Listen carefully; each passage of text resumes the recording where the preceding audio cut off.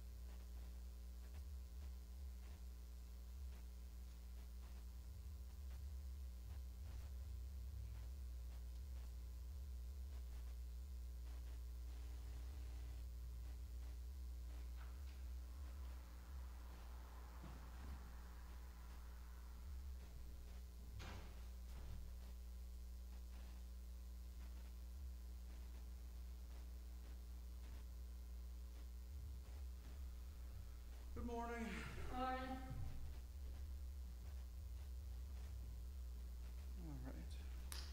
right. Oh, Must be fall, he's got his robe on. Yep. Well, uh, Joni watched some of the worship service last Sunday. She's, she noted uh, at Fairmont, as soon as Labor Day was over, they went back to their robes. They wear, they wear albs in the summer. She said, Why didn't you go back to your robe? robe? I said, Well, you weren't there to remind me. so I said, Now I will. Yeah, I just didn't think of it. Yep. Well. All right.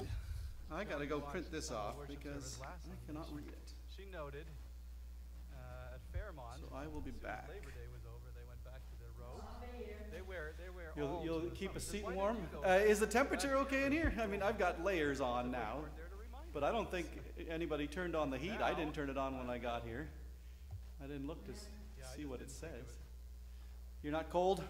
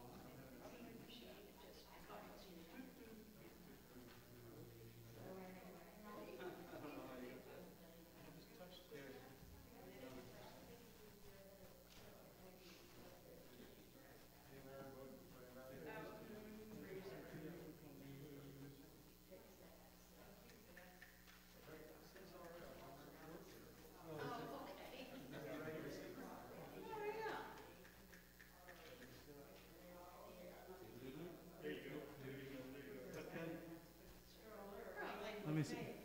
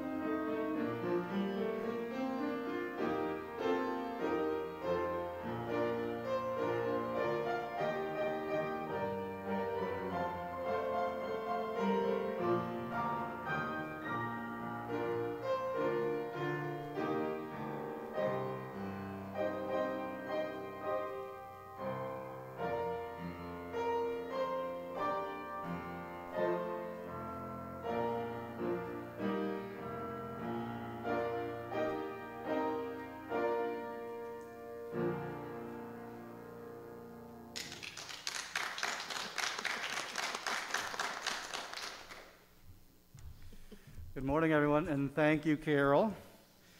Good morning, and uh, welcome to worship this morning. Uh, welcome to those of you who are here with us. It's good to have you here with us. Uh, welcome to everyone at home as well, watching this either uh, live as we do this or watching it later. Welcome to you. We're glad to have you join us for worship uh, as well. Uh, welcome in the name of Jesus Christ, who gathers us in whatever form for worship this morning. As we come for worship, I'm going to start with the announcements. Uh, and I'm just going to run through the ones that are on the, uh, the screen as a reminder to me of what I need to say. So our, our Bible study will happen again, our virtual Bible study at 6.30 uh, on Thursday as we continue to go through the book of Acts. Uh, I am thoroughly enjoying going through Acts. And this week, we start to get into the narrative and some of the uh, uh, miracle stories and the dramatic way that the early church uh, grows. Uh, this morning, uh, this week, uh, the crop walk will occur, the New Carlisle crop walk, and it's going to be done in a socially distanced manner.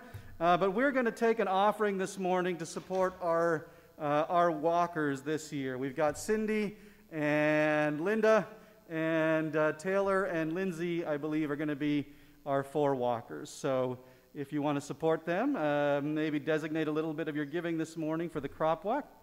Uh, we've put our, our box to collect non perishable food items uh, for the Bethel Church's United Food Pantry in the back entryway. Uh, that'll be there through September and October, so feel free to either bring something and drop it off on a Sunday or sometime during the week as well. Uh, there's the book club that we've been invited to uh, take part in, along with Faith Presbyterian Church in Huber Heights. That'll start tomorrow night. Uh, that'll run three Mondays. If you need the link, let me know and I'll send that to you. Uh, the farmers market, of course, is still going on. Oh, and this is the one uh, October 4th. So, not next Sunday, but the Sunday after will be World Communion Sunday. And we'll be sharing communion here. It's been a while since we've been able to share communion because back in in March and April and May when we ought to have had it. We were still kind of reorienting because of the pandemic. We finally, I think, have our feet under us, and so have figured out a way to serve world, uh, communion um, on October the 4th. Uh, for those watching at home, uh, or if you're here and think you'll be at home uh, on October 4th, uh, please have some bread and juice ready that morning so you can also participate in that. It doesn't matter what kind of bread, doesn't matter what kind of juice, uh, as long as you have something. And then in the, the liturgy for communion, uh, when we bless the bread here, uh, when we consecrate it, we will also do so with the bread that uh, is at home prepared there uh, for the meal that we will share together as a congregation and together with all the churches uh, around the world that will be observing World Communion Sunday. Uh, those are the announcements for this morning. Uh, for sharing, uh, I want to ask you to be in prayer this week for Ron and Jane's little granddaughter, Bexley. Uh, Bexley will have surgery on Thursday, uh, early Thursday morning, as, far, as long as everything goes according to schedule, to correct her, her tethered spinal cord. So, pray that everything goes well, uh, that it goes uh, according to schedule. Uh, pray for the best outcome uh, and for peace of mind for everyone. Uh, Bexley will be in hospital for a number of days afterwards. Um, let's surround her and Sean and Christy with prayer this week uh, that there may be a, a, a, positive outcome to the surgery and peace of mind through it all uh, for mom and dad and grandma and grandpa and everyone. Um, let's just remember uh, to support them in prayer. Uh, I also want to share with you we heard this week that Jerry Irwin was in hospital uh, with kidney stones and then with complications from those uh, kidney stones. Please uh, uh, keep Jerry in your prayers, prayers for recovery uh, for her. I think that's all of our announcements and sharing, so I will invite you to prepare your hearts and minds as we turn now to worship.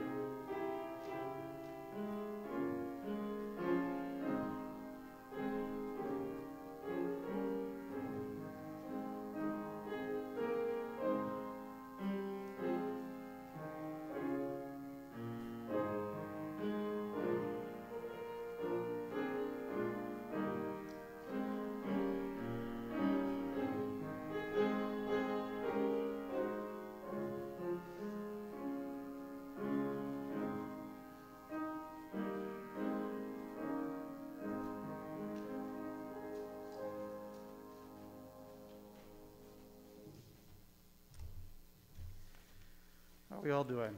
Are we ready? Let's call one another to worship. Uh, would you join me in the call to worship here on the screen? Shout for joy all, to the Lord, all the earth.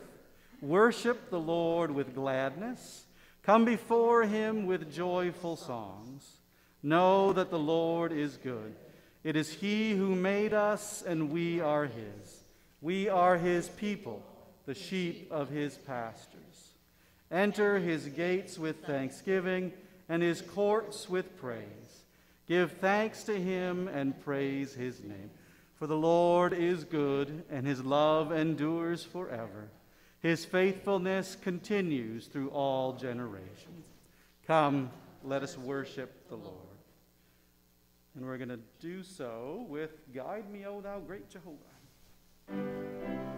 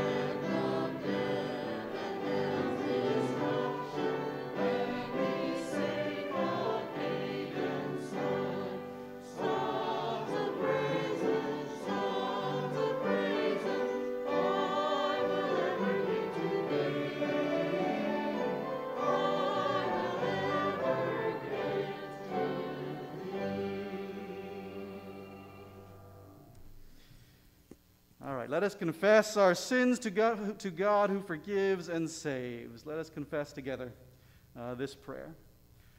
Gracious God, we have sought after things, but we have not sought after you. We have expected generosity, but we have not shown generosity. We have not been gracious or grateful. We have failed to remember all that you have done. Forgive us and fill our hearts with gratitude. Help us to share our gifts and strengthen our legs so that we can run after you, O God.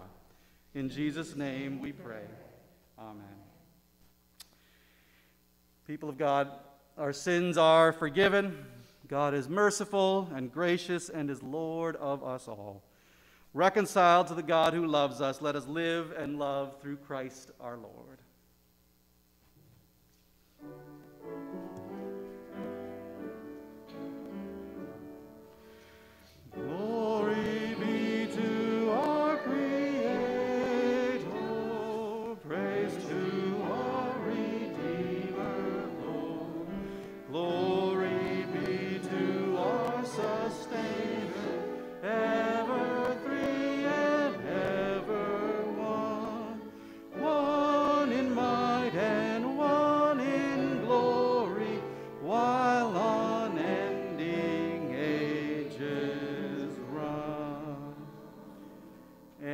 The peace of Christ, we share the peace of Christ with one another and continue to do so in a distanced fashion. So the peace of Christ be with you and also also with you.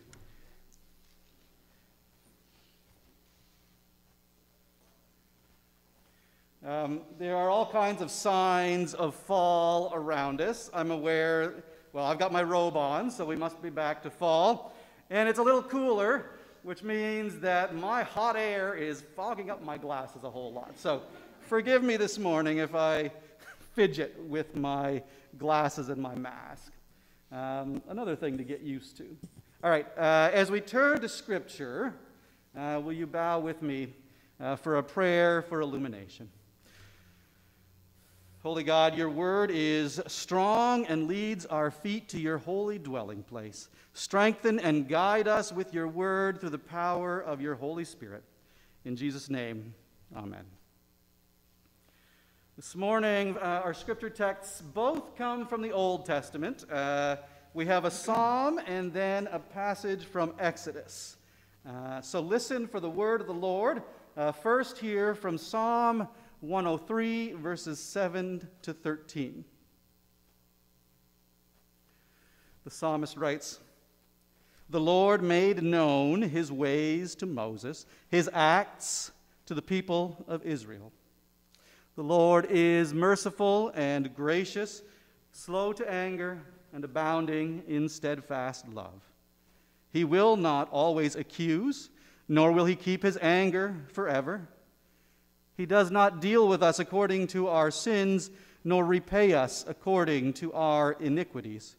For as the heavens are high above the earth, so great is his steadfast love towards those who fear him.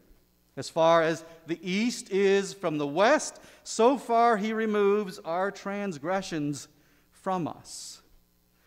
As a father has compassion for his children, so the Lord has compassion for those who fear him.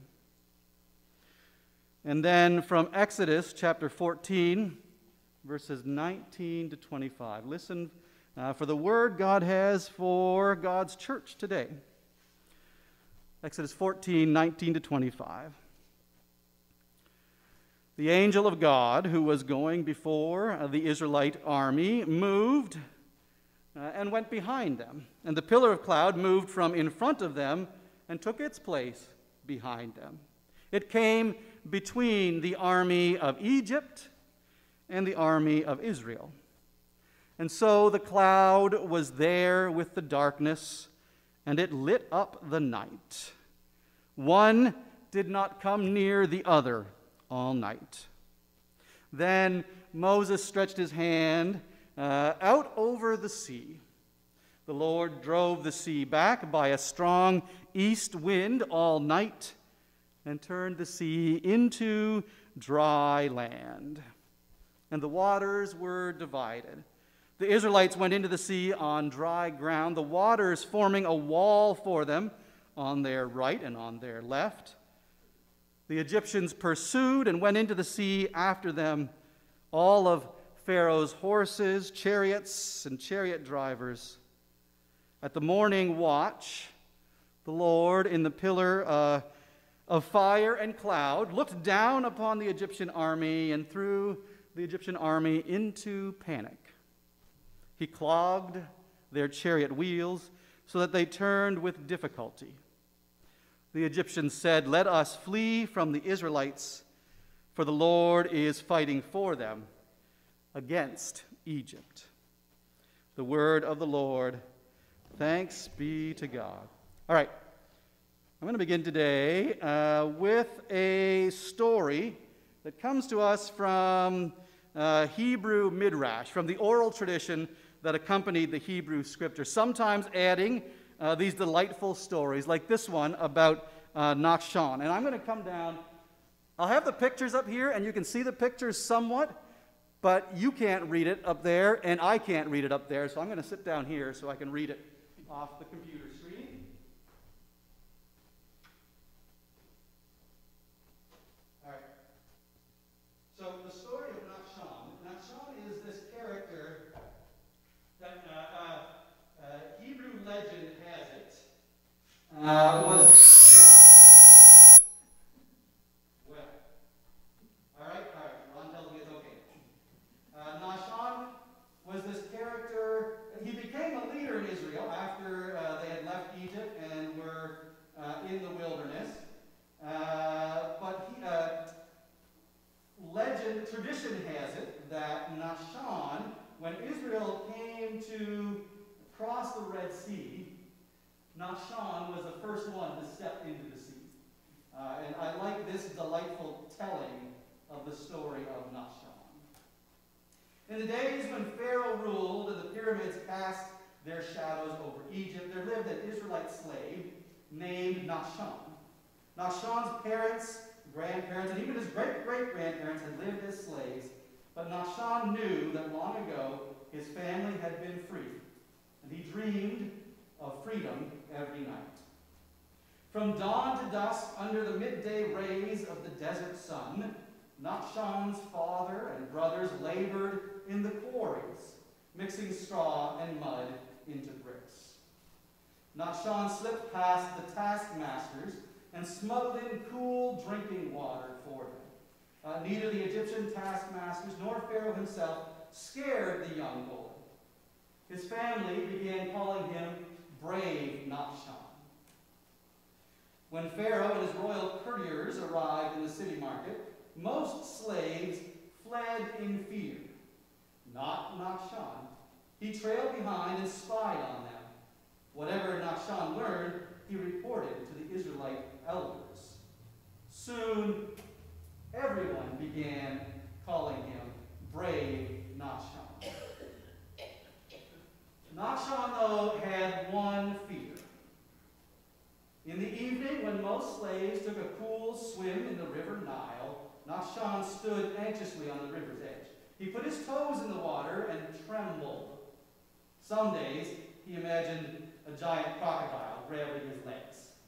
Other days, he pictured himself sinking slowly to the river's bottom, as though bricks were tied to his ankles.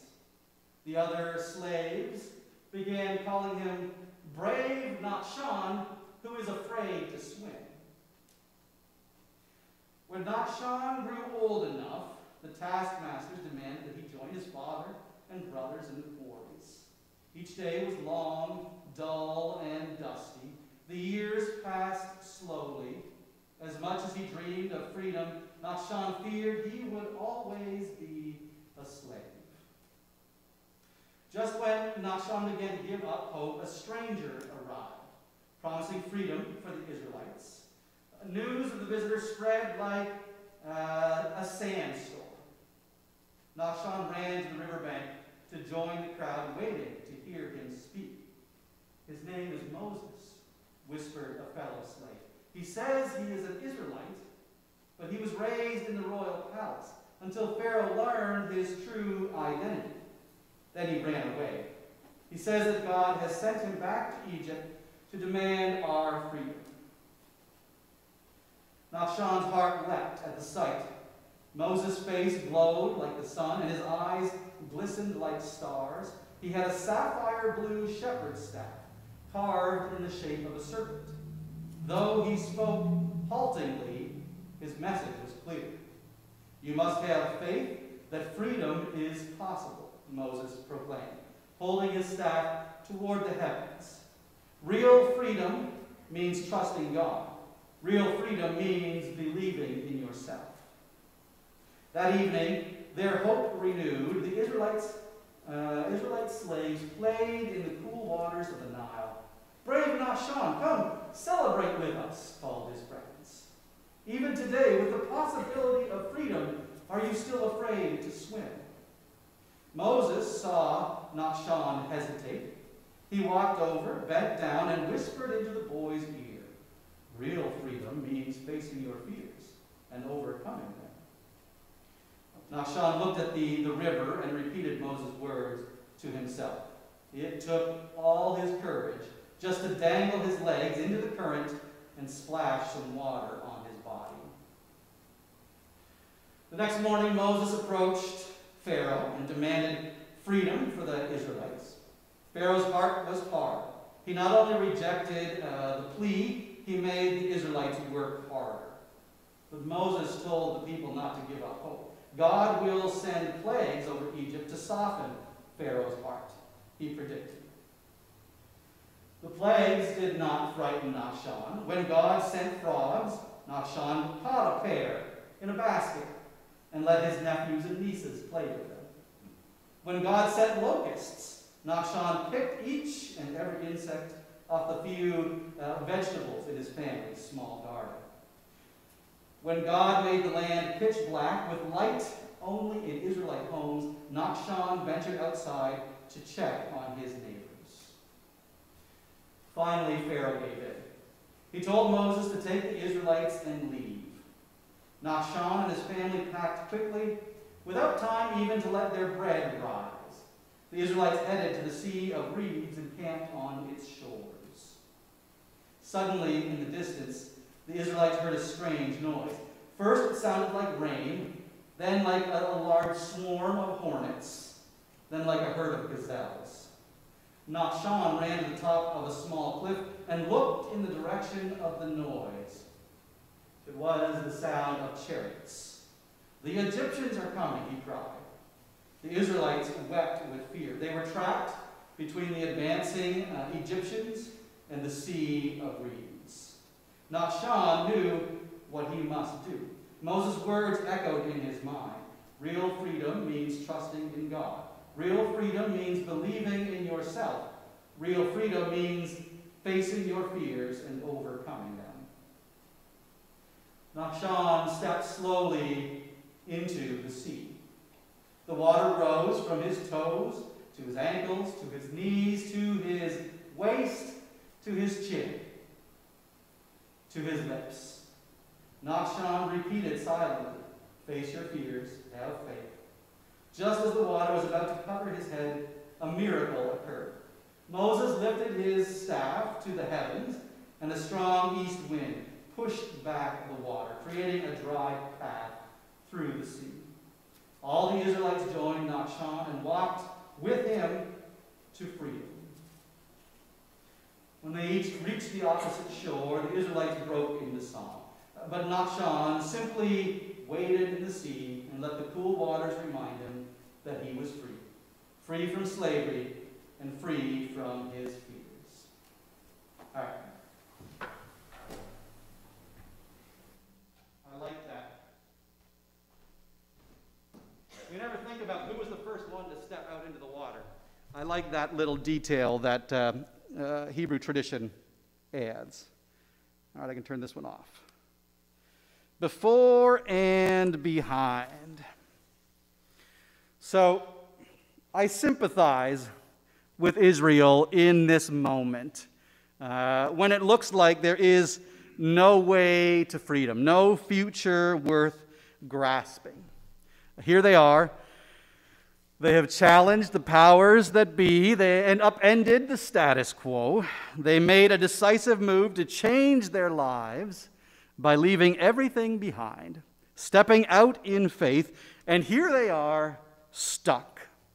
Stuck between a past not worth returning to and a future blocked by a, a muddy, marshy sea. I sympathize with them because I've been there. I've been stuck in, in the neutral zone. I've been there in the space between uh, what was, where what was is past, but what will be has not yet been revealed. And I, for one, know from experience that I would rather that God stayed clearly out in front. I want God to let me know what the next move is. Where are we going? I want God to show me the way into the future, into the promised land. All right, Lord, we know you have a new reality for us out there on the other side of this pandemic. You are calling us all to something new. You hold all things in your hands, our future and our past. God has a plan for you and for me. God has a plan for Honey Creek and for New Carlisle. It would be great if God would let us know what that plan is. It would be great if God would let us know sooner rather than later. Uh, would be our preference, my preference anyway. It would be great if God would let us know what is waiting on the other side of this, uh, this impasse, this time that challenges and changes so much of what ordered our lives. I get it. God's presence moves behind Israel to protect them, uh, to serve as a rear guard, to buy them time. I get it. I'm just saying, for my own peace of mind, It'd be nice to see a pillar of fire or cloud clearly marking the way ahead, clearly marking the right way to go, clearly marking the road to God's future. Instead, Israel stands there staring at, at a monumental obstacle. And God's visible presence picks up from before them where it had been leading and moves behind them. I guess this is one of those times that we live by faith and not by sight. It's helpful to know God is behind us. It's helpful to look back and see where God has acted in our lives, in our, our history, in our past. To know that God was there then emboldens us to face uh, an unknown future. Life is uh, full of obstacles, but it's encouraging to look behind, to look uh, to our past and see the ways that God has provided for us, to see the ways that God has delivered us and helped us overcome challenges and obstacles before. Uh, that memory of the past, that glance back can give us the courage, uh, the energy, uh, the, the, the chutzpah, even. That's going to be a problem when I want to advance my slide. Uh, that glance back to see what God has done in our past um, gives us the, the wherewithal to take on obstacles staring us in the face, to climb or tunnel or move the mountain, to step out into the water and know that we will not be lost in the sea. Taking a look back, we can find the courage and strength to step out in faith. And when we step out, we often